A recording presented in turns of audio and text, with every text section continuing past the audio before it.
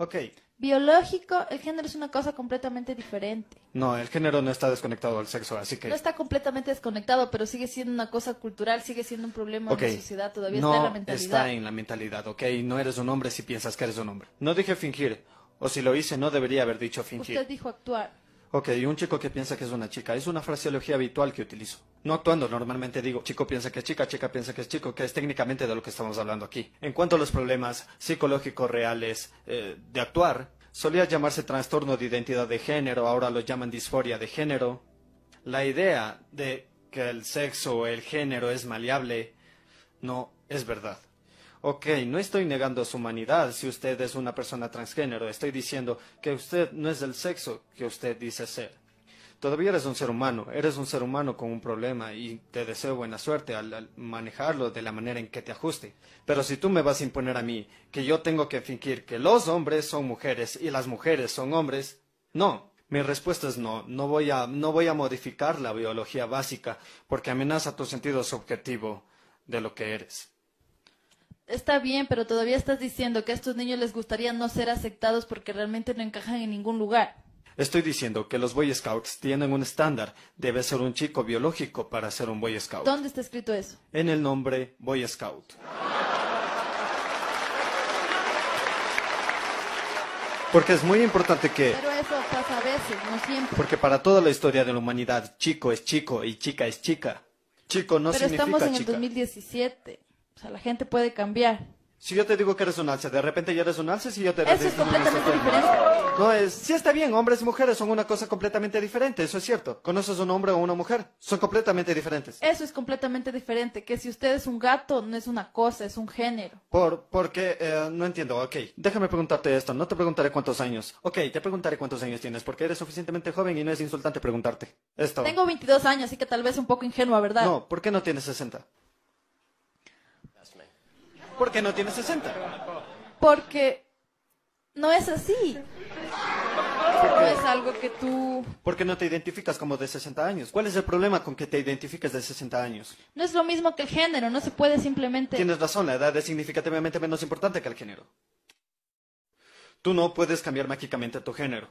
Tú no puedes cambiar mágicamente tu sexo. Tú no puedes cambiar mágicamente tu edad. Todavía puedes cambiarlo, legalmente la gente lo reconocerá. Por cierto, no puedes cambiar legalmente tu edad. Obvio, usted puede cambiar su nombre, su sexo, su identidad. El hecho de que usted pueda hacer las cosas legalmente no significa que son correctas biológicamente. En el pasado podrías haber hecho muchas cosas que eran incorrectas biológicamente, pero correctas legalmente. Durante un largo periodo de tiempo en los Estados Unidos, la esterilización de los enfermos mentales tuvo lugar. Que no hizo que esto estuviera bien. Skinner vs. Oklahoma, el juez Oliver Wendell Holmes escribió la decisión. Estupendo, me parece bien. Pero todavía no entiendo por qué una persona trans no, No es una puede... cuestión de mente abierta y aceptar. Quiero que reciban el trato que ellos consideren apropiado. Eso no me concierne a mí. La idea del movimiento transgénero como movimiento de los derechos civiles es la idea de que todos sus problemas se irían. Simplemente si yo finjo que son del sexo que ellos reclaman eh, ser miembros. Son disparates. La tasa de suicidios transgéneros es del 40%. Es 40%. Según la U. Según la Universidad de Anderson, no hay diferencia. Hay un estudio que salió el año pasado. No hay diferencia. Prácticamente ninguna diferencia estadísticamente hablando. En cuanto a la gente si te reconoce como una persona trans o no. Lo que sugiere que hay una comorbilidad muy alta entre el transgénero, sea cual sea el estado mental, y el suicidio, que no tiene nada que ver con cómo la sociedad te trata. ¿Crees que podrían ser que sean acosados en la No, escuela? no creo que tenga que ver nada. No creo. No creo que la discrepancia. En primer lugar, estoy en contra del acoso. De cualquier tipo, la idea de que alguien golpea a alguien es terrible. Ok, yo soy alguien que fue brutalmente ridiculizado en la escuela y no soy fan del bullying.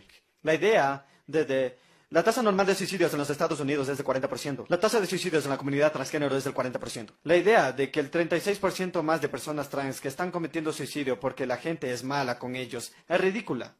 No es cierto y no está respaldado por ninguna ciencia que pueda citar. Son puras conjeturas. De hecho, ni siquiera es cierto que la intimidación causa suicidio, según muchos estudios. Por ejemplo, en la comunidad negra, donde la idea es supuestamente que América es una sociedad racista, los negros son intimidados mucho, la comunidad negra tiene tasas de suicidio significativamente más bajas que la comunidad blanca.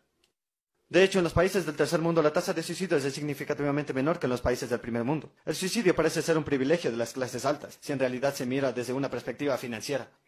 Así que la idea de que el suicidio es el resultado directo de gente como yo diciendo, eh, no, los hombres no son mujeres y las mujeres no son hombres, eh, mm, no es cierto, para nada. Entonces usted piensa que eso no afecta su identidad en absoluto, su depresión o cómo se siente acerca de sí mismo. Yo creo que la idea de que usted va a sacrificar la correcta definición de sexo en la sociedad entera, porque usted piensa de que hay, en términos legales, alguien con un eggshell skull, que significa alguien que tiene una condición preexistente, que los hace más susceptibles a la crítica. Esa no es la forma de dirigir una sociedad. Tú no puedes sacrificar la verdad, porque algunas personas de hecho van a sufrir debido a la verdad. Además, no hay evidencia alguna de que la tasa de suicidio se reducirá en la comunidad de transgéneros de ninguna manera significativa. Si la gente comienza a fingir que los hombres son mujeres y las mujeres son hombres. Se está experimentando ahora, veamos si funciona. Hasta ahora no hay evidencia. Ha hablado con un grupo de personas trans en lugar de un grupo como este grupo de gente blanca. Yo soy feliz de hablar con cualquier grupo de personas si me quieren, pero por lo general me protestan.